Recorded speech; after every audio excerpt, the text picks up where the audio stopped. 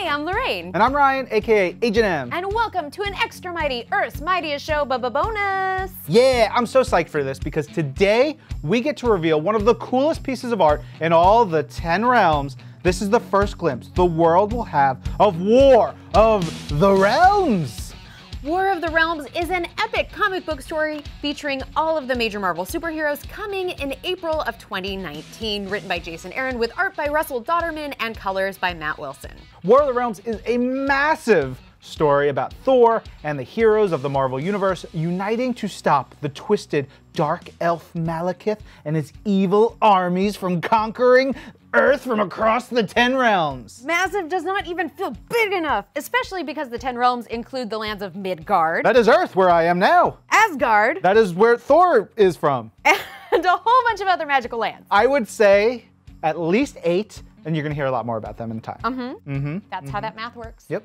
And while the story has been building for years, it's going to be super easy to dig into. Yeah, but we gotta stop and we gotta talk about this amazing piece of art, which was created by Russell and Matt, who are drawing and coloring the comics. Let's take a closer look at some of the details in this image and get that hype train rolling. Definitely. Okay, first up, uh, is that Captain America riding a flippin' winged horse? Yeah, of course it is, Lorraine. Look, I feel like none of us have truly lived up until this point. Now that we've seen this image, we are free. But next to him, that's that's that's Thor with the meaty and metal arms, just holding two hammers.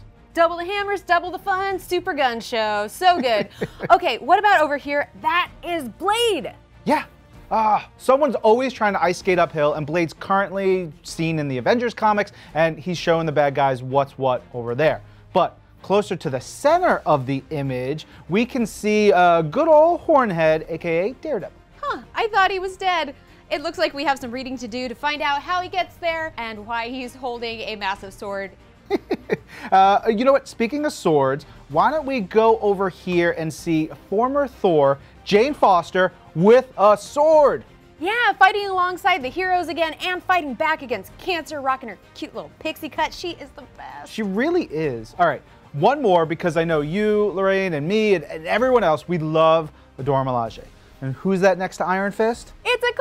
The hype is real. Those are some of the sweet details in this image that we wanted to point out to you guys, but we want to hear from you. Totally. What else were you able to spot? What questions do you have? And what's your favorite part of this image? Give us your answers on the Earth's Mightiest Show Facebook page, or hey, leave us a comment with hashtag Earth's Mightiest Show. And stay tuned for so much more about War of the Realms going into the start in April 2019 here on Earth's Mightiest Show, on This Week in Marvel, and across all of our rad Marvel shows. Yeah, I'm Lorraine. I'm Ryan. and this is Marvel. Your universe. God, God. I'm just getting the hammer.